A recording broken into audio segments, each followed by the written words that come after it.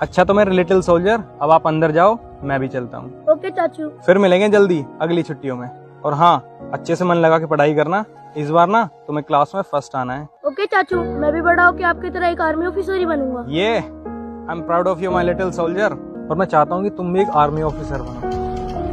और मैं ये चाहती हूँ कि तुम डॉक्टर या इंजीनियर बनो ना कि कोई आर्मी मैन अच्छे से पढ़ाई करोगे तो तुम्हें अच्छी जॉब मिलेगी वरना तुम भी इन फौजियों की तरह पहाड़ों या बॉर्डर पर खड़े रहोगे। आर्मी का क्या है? जो अपनी लाइफ में कुछ नहीं कर पाते, वो आर्मी ज्वाइन करते हैं। भाई, वाह, मैडम जी, क्या बात कह दिया आपने। मैं आपकी बात से पूरी तरह सहमत हूँ। और बच्चे, तुम भीतर जाओ। मैं हूँ स्कूल को पीटीआई और मेरी यह स्कूल में फुल चला है। और हाँ आर्मी में तो पब्लिक नहीं भर्ती हो जा। पेंशन के चक्कर में फिर खड़े रहे बॉर्डर पे धूल माटी में। पर मेरी लाइफ सबसे बढ़िया है। मैं स्कूल को हूँ पीटीआई और मेरी यहाँ फुल चले और फुल इज़्ज़त है। भाई वाह पीटीआई सर जी इज़्ज़त तो बहुत है आपकी और आपके दिमाग के दरवाजे बंद दी हैं। ये खोलने पड़ेंगे। एक काम करो बस के पीछे आ जाओ एक मिनट।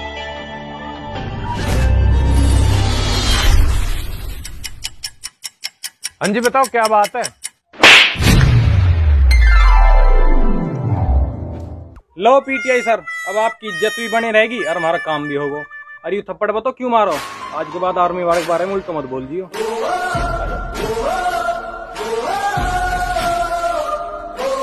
जाओ तुम भी। आप एक स्कूल टीचर है ना? ये तो माँ बाप भी सिखा देते हैं कि मेरा बच्चा बड़ा होकर डॉक्टर बनेगा, वकील बनेगा या कोई फ़िल्म स्टार बनेगा। क्या कभी आपने स्कूल में छोटे बच्चों को ये सिखाया है कि हम बड़े होकर फौजी बनेंगे? नहीं सिखाया ना? तुम्हें तो फौजी पसंद ही नहीं है ना? क्योंकि हम ना तो फिल्मी लाइफ जीते हैं और ना फिल्मी बातें करते हैं। क्योंकि तुम लोगों को तो सिर्फ़ एक्टर्स और क्रिकेटर्स की लाइफ पसंद है। और हम अच्छे इसलिए नहीं लगते क्योंकि हम देशभक्ति की बातें करते हैं रूल रेगुलेशंस फॉलो करते हैं, क्योंकि तुम्हारे लिए कोई मायने नहीं रखते। क्योंकि तुम्हें लगता है कि तुम एक आज़ाद देश के आज़ाद नागरिक और आज़ादी तुम्हारा हक है। पर जो आज़ादी तुम्हें विरासत में मिली है ना, उसके पीछे कितनी कुर्बानियाँ हैं, कितने शहीदों के लहू से लिखी गई है आज़ादी। जीतने वाली लाइन से कभी एक कदम पीछे रुक कर देखना, ज़िंदगी की सच्चाई मालूम हो जाएगी।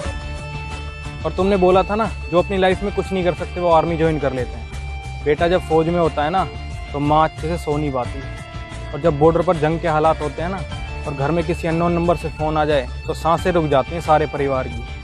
अगर मैंने घर पर एक दिन बात नहीं की ना तो मेरी माँ खाना नहीं खाती।